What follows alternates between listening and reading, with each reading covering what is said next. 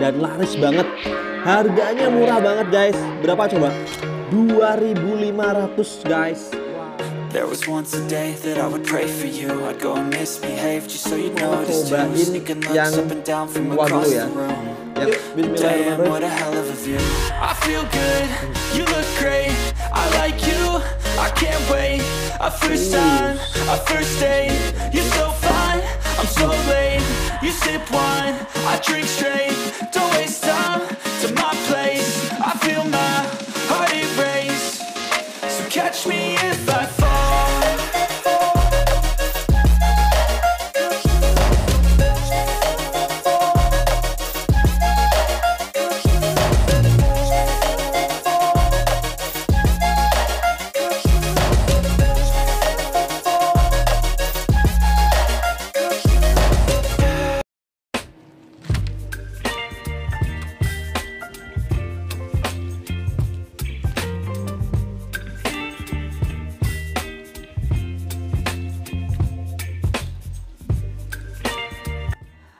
Assalamualaikum warahmatullahi wabarakatuh. Halo guys, balik lagi di Tatong Vlog ya. Dan sebelum eh, video ini lanjut, aku mau ngucapin thank you banget buat kamu yang udah subscribe karena subscriber Fala eh, di Tatong Vlog nggak nyangka udah 2000 lebih guys. Thank you ya, thank you ya. Bantu kembangin channel ini terus ya. Jangan lupa untuk klik subscribe, like dan juga komen.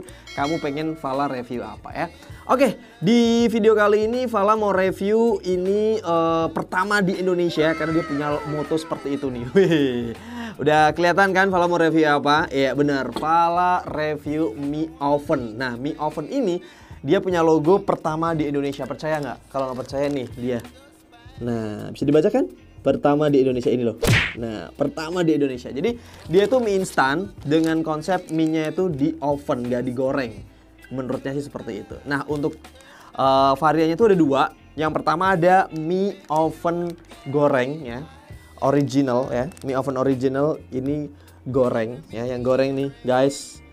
Nah, jadi yang goreng ini isinya ada mie, mie-nya ya. Terus ada bumbu ya dan dia rasanya rasa eh, gulai sultan ya. Bumbu gulai, kemudian ada eh, bumbu apa cabenya, cabe bubuk ya atau eh, chili pepper dan satu lagi ada ini kecapnya untuk yang goreng ya. Yang goreng dia hanya ada satu rasa yaitu rasa mie goreng gulai sultan ya. Nah, yang kedua nih ada kuah. Oh, nah yang kedua ini kuah. Nah, yang kedua kuah ini dia rasanya mie kuah iga sapi ya. Oke. Aku udah pernah cobain yang ini, yang eh, apa goreng ya. Kalau yang kuah ini first time nih, pertama kali nih guys ya. Nah, kalau menurut aku ini tuh di luar ekspektasi aku eh, sebagai ini ya penikmat mie juga ya. Nggak tahu kenapa ya di luar ekspektasi. Nanti aku bakal review langsung deh. Tapi sebelumnya seperti biasa buat kamu jangan lupa untuk klik subscribe, like dan juga komen ya. Oke, langsung aja guys kita hajar untuk eh, episode atau video kali ini. Aku mau cobain yang kuah dulu ya. Yang kuah karena kalau yang kuah takutnya nanti eh, lama-lama jadi ini apa? ngembang gitu ya. Tapi ini ya bisa kamu lihat nih guys. Jadi mie oven ini dia tipikal-tipikal mie-nya tuh mie kayak mie spaghetti guys ya. Jadi walaupun kamu ngerebusnya lama itu nggak bakal ngembang kayak mie instan pada umumnya ya. Serius deh.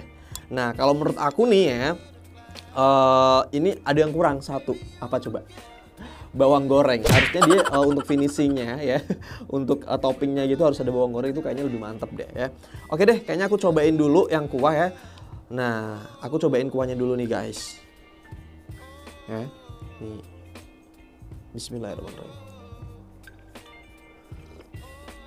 Oh iya, sorry sorry, gue mau ngucapin eh, selamat menjalankan ibadah puasa ya buat kamu yang berpuasa dan semoga puasanya dilancarkan, ibadahnya dilancarkan juga ya. Nah, video ini dibuat ma- malam hari ya guys. jadi aku bikin video ini tuh malam hari ya. Aku bikin video ini malam hari sekali lagi jadi Uh, tenang aja ya. Oke, nah untuk yang kuah ini dia rasa iga sapi ya. Dan rasa iga sapi. Kalau dari kuahnya dia kayak ada asam-asamnya gitu ya. Nggak tahu kenapa nih. Nah, coba deh kita langsung uh, sama mie aja. Nih guys. Uh. Uh, ya ini dia untuk mie kuah. Nih sendoknya dong dari Kementerian Sosial Republik Indonesia. Oke deh, kita makan aja langsung yuk. Bismillahirrahmanirrahim. Hmm. Hmm.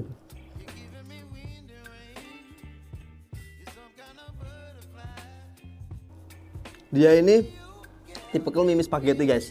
Nah, dia tuh walaupun eh, ngerebusnya lama, kayak yang yang kuah ini aku ngerebusnya lama ya. Karena di aturan masaknya tuh dia ngerebus 3 sampai 5 menit. Tapi aku lebihin karena aku tak pengen tahu nih dia bisa ngembang seperti apa. Tapi ternyata nggak nggak nggak bisa ngembang banget dan tetap sama ukurannya. Teksturnya juga dia eh, lebih kecil gitu ya, lebih lembut.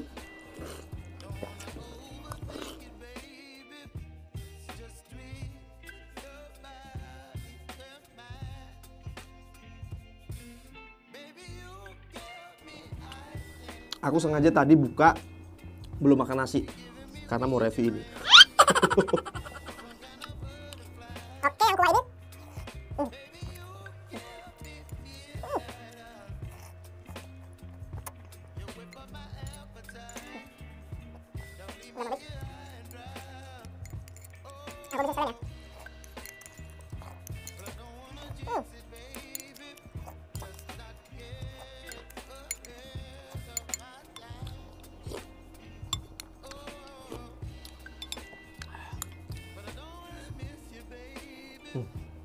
Habis guys. Ya. Oke. Oke ya.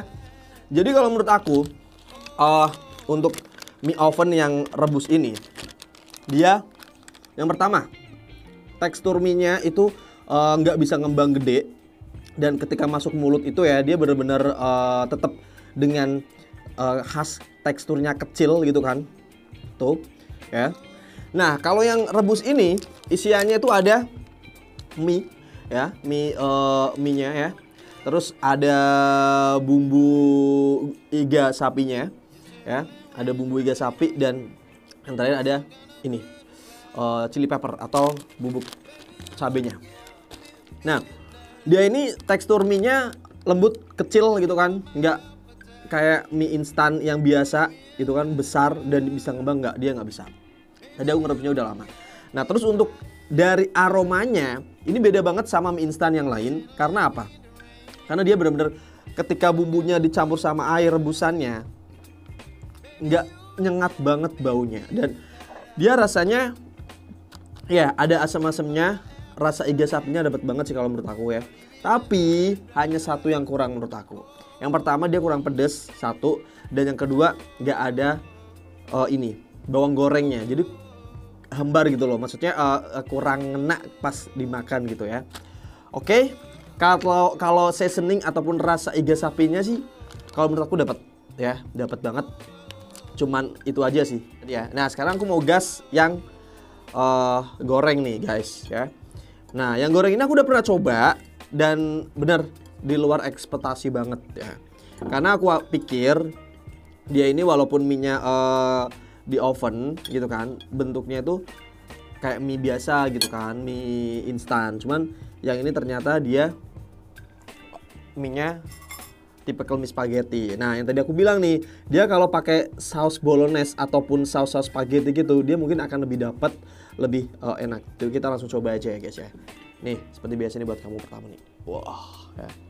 Us. Bismillahirrahmanirrahim. Hmm. Hmm.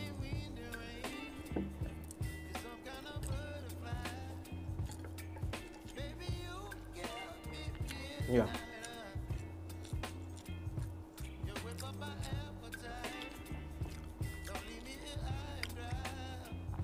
Kalau dia rasa gulai, gulai ya, gulai sultan.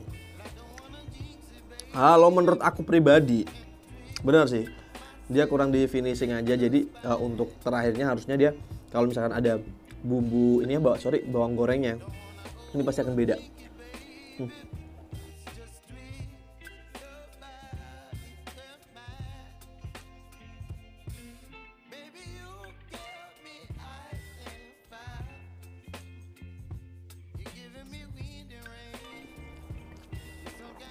Kalau ini yang goreng ini menurut aku dia rasanya pas masuk mulut itu kayak kamu makan bihun. Kayak makan bihun goreng. Karena kan emang eh, tekstur ya tekstur dan tipikal mie ini kan dia tipikal mie yang kecil ya. Lembut itu ya dia ketika masuk mulut dikunyah sampai kunyahan akhir tuh dia kayak kita makan bihun. Cuman bedanya dia lebih tebel ya. Kalau ini lebih pedas pedasnya dapat pas kalau menurut aku ya daripada yang kuah tadi cuman harusnya ekspektasi gue dia ini ada ini saus bolognese atau apa gitu kan ya. Kayaknya lebih mantep deh. Cuman kalau dimakan kayak gini aja sih.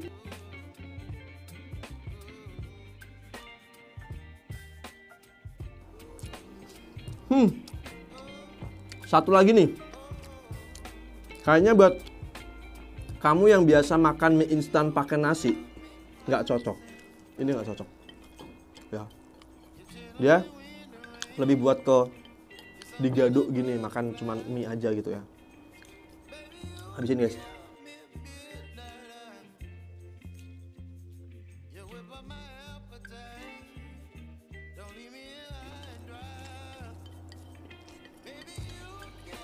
Hmm. Nah, oke, itu tadi dia. Aku udah eh, cobain dua mie oven pertama di Indonesia. Ya dia mie-nya tuh di oven gak digoreng ya. Dan dia punya moto pertama di Indonesia. Oke? Oke guys, dan kalau menurut aku pribadi ya dia kalau dimakan sama nasi nggak cocok ya. Dia lebih cocok digaduk atau makan mie-nya aja. Dan ini aku baru beli di Indomaret ya. Nggak tahu di Alfamart ada apa enggak ya. Ada atau atau enggak aku nggak tahu. Dan laris banget. Harganya murah banget guys. Berapa coba? Tebak. Aku kira tuh pertama harganya sampai 5000 atau 5000 ke atas kan. Ternyata harganya 2500 guys. Wow, ini bener-bener hemat banget. Buat anak kos kayaknya pas banget ya. Oke, sekali lagi ada mie oven ya. Yang hijau ini kuah dan yang orange ini goreng ya.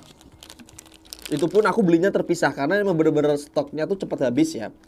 Untuk yang kuah sama yang goreng harganya sama 2.500 rupiah aja. Langsung aja gas ke Indomaret buat kamu yang pengen cobain yang penasaran dan aku kasih nilai ya.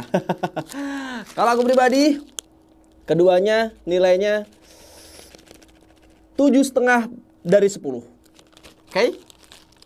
Oke ya. Dan ini buat kamu kayaknya yang lagi diet cari eh, makanan yang gak digoreng ya. Healthy food gitu. Bisa karena dia di oven kan ya, nggak digoreng ya. Oke, guys. Terima kasih ya, finally aku udah review untuk eh, mie ovennya di episode kali ini Dan aku mau ngucapin thank you banget sekali lagi eh, untuk yang udah subscribe ya Sampai channel Tatong Vlog ini udah sampai 2000 lebih subscribernya Thank you guys, thank you, thank you Jangan lupa untuk eh, tetap share ke semua sosial media dan juga ke teman-teman kamu ya Oke, dan silakan komen kalau ada eh, makanan yang perlu Fala review dan for your information sekali lagi untuk yang punya usaha di bidang kuliner mau direview mau dibantuin promo bisa langsung komen di bawah ya. Komen di kolom komentar oke? Dan sekali lagi selamat menjalani ibadah puasa. Semoga ibadahnya lancar sampai uh, hari kemenangan tiba oke? Finally Fala harus pamit dari Tatang Vlog. Thank you buat kami yang udah nonton dan pantengin video ini sampai akhir. Kita ketemu lagi di video berikutnya. Wassalamualaikum warahmatullahi wabarakatuh. Bye bye Ciao.